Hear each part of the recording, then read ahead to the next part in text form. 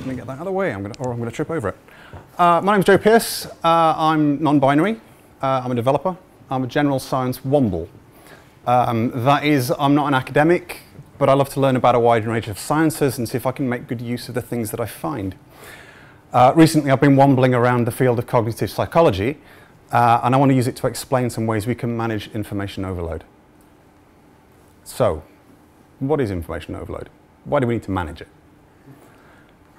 Well, in 1970, futurist Alvin Toffler popularized the term information overload in his book Future Shock.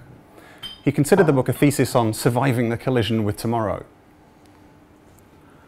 In it, he wrote that there are discoverable limits to the amount of change that the human organism can absorb, and that by accelerating change without first determining these limits, we may submit masses of people to demands they simply cannot tolerate.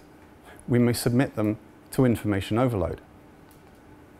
Among the symptoms he ascribed to it were anxiety, hostility, apathy, physical illness, depression, and even senseless violence. The examples he used to illustrate the effects of overload came from stories of extreme environments, like the battlefields of World War II, where a soldier falls asleep while a storm of machine gun bullets splattered around him, not due to physical tiredness, but a sense of overpowering apathy. Soldiers became hypersensitive and would hit the dirt at the slightest stimuli, increasingly showing anxiety and anger at the slightest inconvenience. The source of overwhelming stimuli in extreme situations is clear. But what about here, now, where there are no bullets or glass flying through the air around us? 20 million words of new technical information are recorded each day. At 1,000 words a minute, reading for eight hours a day, this is six weeks worth of reading. After reading the information for that one day, you would have fallen behind by five and a half years worth of reading. And these statistics are from 2001.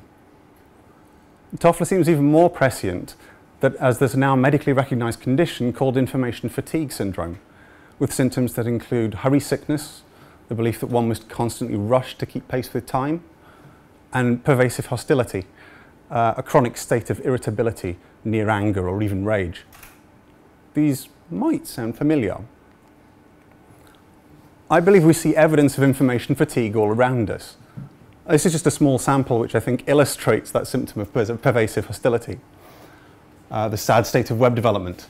2015 is when web development went to shit. Programming sucks and why I quit.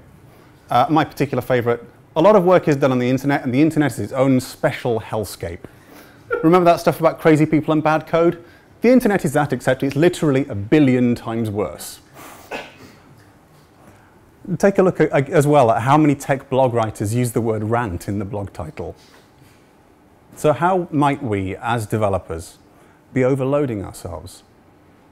Let's look at front-end web development as an example.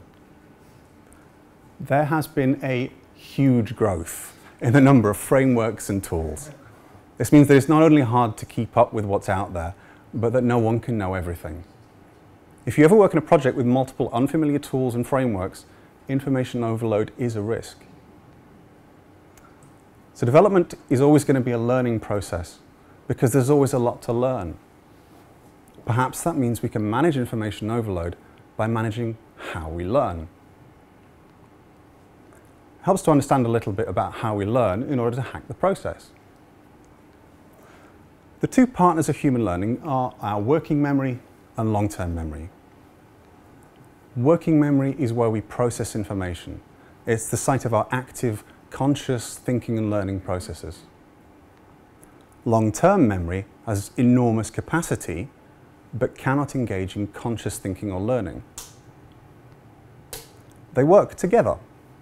Learning takes place in working memory, and the results are stored in long-term memory. But what are the results that we store? The learning process involves the creation of what we call schemas. These are memory structures that allow us to treat a large number of information elements as though they were a single element. We have schemas for everything. For example, while all trees are different and include an enormous amount of sensory information, we instantly recognize a tree because we have a schema for trees. Schemas are constructed additively For a novice learner, every new thing is unconnected and must be managed separately. But as we gain experience, we form connections between the bits of information in our head, allowing us to treat these collections as single schemas. But there are limits on our ability to learn. Back in 1956, cognitive psychologist George A. Miller, Gesundheit, investigated these limits on our ability to process information. You may have come across Miller's law, or the magical number 7 plus or minus 2. Miller's research suggested that there's a definable limit on the amount of information we can usefully process in our working memory at any one time. And when that limit is exceeded, information overload leads to our learning becoming inefficient. Some web designers have used Miller's law as justification for only putting seven or fewer things on a page. But this is a misinterpretation.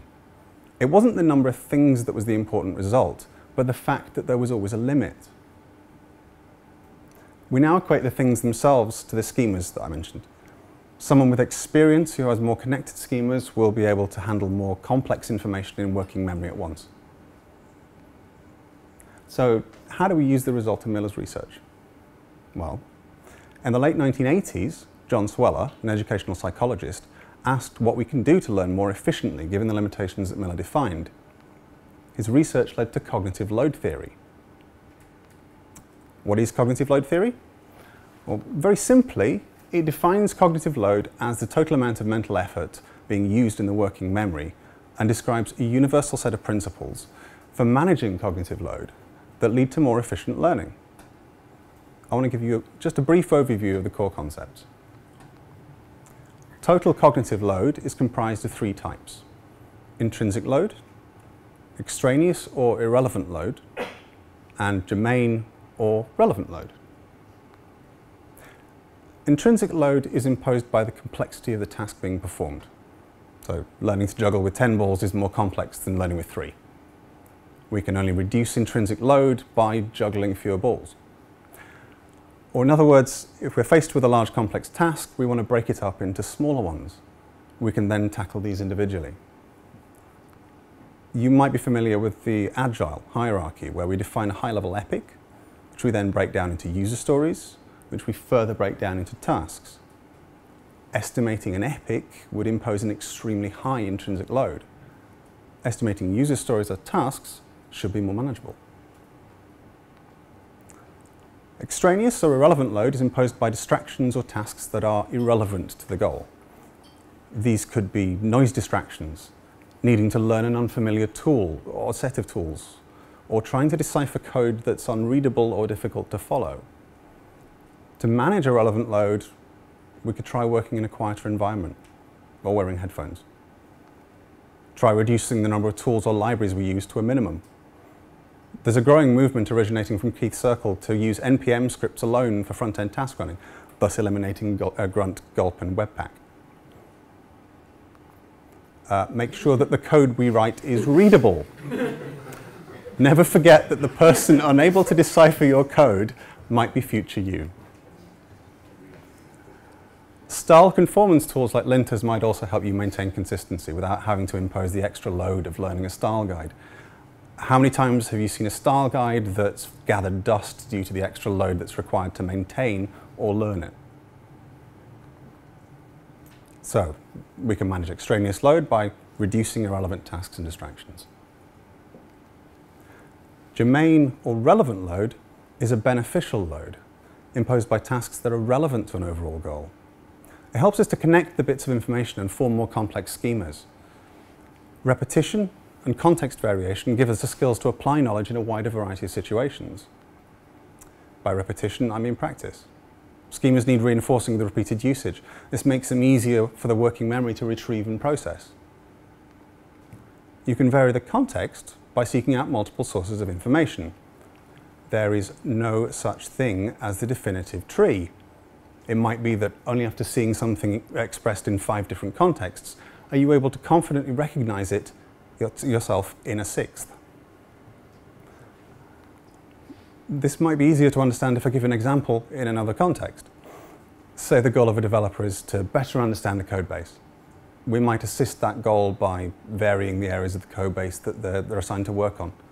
We might also pair a junior developer with one more senior to help them understand varied approaches and develop more complex transferable schemas. So to sum up, we constantly need to learn, but there are limits on our ability to learn. Cognitive load theory can help us work within those limits, giving us a set of guiding principles. If we manage intrinsic load by breaking large tasks into smaller ones, reduce extraneous load by eliminating irrelevant tasks and distractions, and increase relevant load with appropriate repetition and varied learning context, we promote efficient learning, improve productivity, and escape the horrors of information overload. Thank you. Any questions?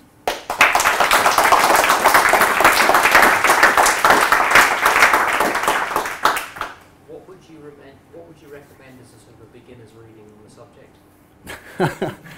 um, that's a good question, actually. I've looked at lots and lots of books on this, um, uh, uh, but my main one has actually just been a, a big, thick uh, cognitive psychology first year textbook. Um, I think it's by Eysenck, uh, Michael Eysenck. Um, I, I, wouldn't necessarily recommend it as a beginner book on this, though. There are some good books on um, uh, Safari, um, I think there's one by someone called Ruth Colvin, uh, which is worth reading. I can't remember the title of it though. It's probably because it's about a paragraph. yes? Jo, when I code and do nothing else at work, I lose focus. The only thing that helps me to stay focused is I talk with somebody on Skype. Only Skype, not Viber, not WhatsApp, I talk to people on Skype, and then I actually code faster. I measure it. Mm-hmm. Uh, can you explain this to me? am, I, am I the only one? is, is, it a known fact? Um, well, I'm not a psychotherapist, so um, possibly not. um, um, different things will definitely work for different people. Um, so this is just this is a set of sort of guiding principles. In your case, maybe um, whatever you're doing with Skype helps you to um, focus attention. Uh, attention being one of the main things that uh, cognitive load theory actually actually um, uh, uh, writes about. There are various th uh, ways of focusing attention on learning material or, or, or whatever it is you're doing. Um, if that helps you focus attention, then great. Um, why it does that, I don't know. Because the job is boring? um, I, that I can't comment on. yeah, yeah. I actually wanted to answer the previous question about the material. There is a course in Coursera called uh, Learning uh, How to Learn. It's uh, quite short and uh, quite basic, but I, I think it's, it's good. Oh yeah, yeah, Jamie, you mentioned that, didn't you? Yes. It's a terrific course. Yeah. Very good. Yeah, I never got a chance to look at it before, but yeah. Does the topic, uh, I mean, well, or let me ask you, though, do you use things like meditation or mindfulness or things like that to help channel your, your focus at all, or? Um, it, no, no, no, not at all, no. Um, the closest I probably get to that is um, if I'm working in an open office, uh, open plan office rather, um, I will have to put some kind of electronic music on on my headphones, um, purely to block out whatever's going on around me. Um, but um, the research on uh, whether music um, can help you focus your attention um, is slightly inconclusive. It might work for you, it might not.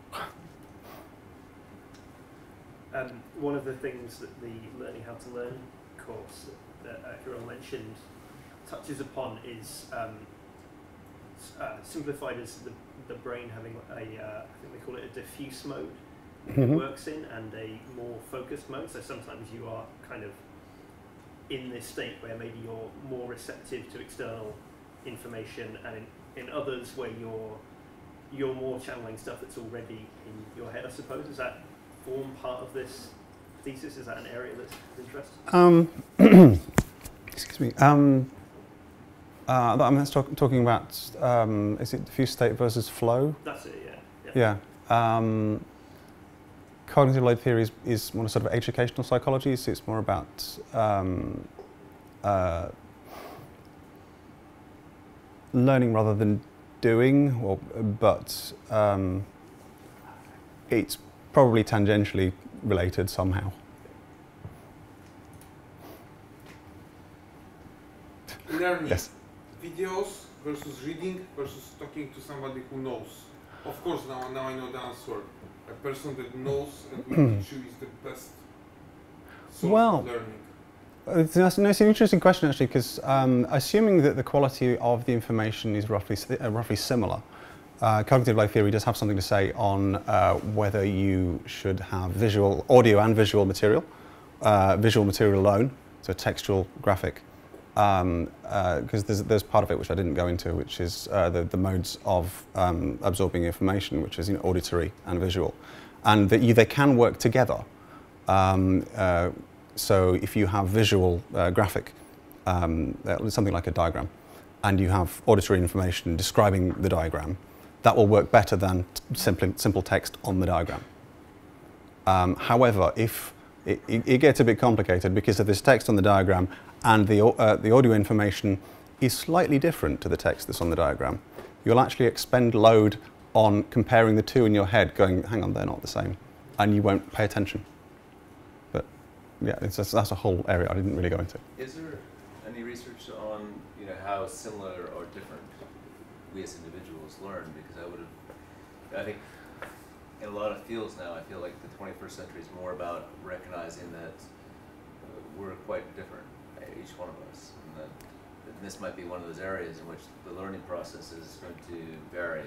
And, and, and you know, if that's true, what uh, what can we do as individuals to kind of test our Um, well, what they, I mean, like I said earlier, the, the, it's, they, they reckon that it's a universal set of principles, um, that it works for everyone. Um, it doesn't tell you specifically what will work for everyone, but that, uh, for example, there's a whole area on um, cues and signals within learning material. It doesn't tell you that the same, the same cues and signals will work for everyone. Um, and um, it doesn't say anything about actually making it interesting. You know, if it, it, uh, engaging interest with um, with learners is is a big yeah a big problem, um, and it doesn't mention anything about that. It just assumes that the people want to learn the information, and if you want to learn the information, this is is got what you need. But um, yeah, that's a whole whole other problem. Sorry, last, last question. Is Future Shock still relevant? Sorry. Is Future Shock still, uh, is the, the book Future Shock? Oh, Future Shock, always um, wanted to read it and I just never have. And Um, it's surprisingly so. Yeah. yeah. Yeah, it's uh, it's it's it's a little bit um, yeah a little bit out of date. I mean, some of the language is a little bit um, uh, you wouldn't use it now, but um, yeah, some of it's, uh, it still seems quite prescient. Yeah. Yeah. To memorize new information, often I use software like SuperMemo or Anki. Uh, those are software about space repetition, the optimal uh, time to repeat the same information in order to learn it. Oh, is it like flashcard type uh, things? Pardon? Is it like flashcards? It repeats it to you uh, periodically. SuperMemo is like, uh, yeah, it shows the information that you need to learn uh, in an optimal time. Mm. kind of logarithmic time. No, I just if you have some some experience about this software like SuperMemo or Anki, and if you can suggest something. Uh, no, I, I can't. I, I don't have any experience with those, but um, it does remind me of the, the, um, the recall graph that, um, that I was looking at the other day, which is probably how they calculate the, the optimal time. Yes, It's- because we, we don't forget in a linear way. No. We forget it. It's like a, it's a, it's sort of um, like a decay curve. Or, Yeah. yeah. W- Last question, okay? Are there any views or theories that challenge this theory right here? Like, are there is there anything else we should be thinking about? Is this definitely what it is, or is there any other views? I mean, it's hard to say. It's like, Um, what, This is truth. are they like- um, Talking ex cathedra. To, uh, to be fair, I mean, not not being a you know not being a, an academic cognitive psychologist, um, I'm not really up with the, the, the sort of current state of uh, affairs. Um, as far as I can tell, uh, cognitive load theory is is still fairly well regarded, but um, uh, if there yeah if there, if there are um, there's always things that uh, challenge uh, academia, so I'm sure you could find something. Right. Okay. Cool. Thank you. On that note, another round of applause, I think.